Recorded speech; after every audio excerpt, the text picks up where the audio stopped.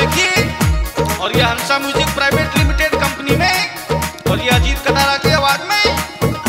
director भाई, लोकमाल वर्मा जी तो एक दारूबाज, और जैन साहब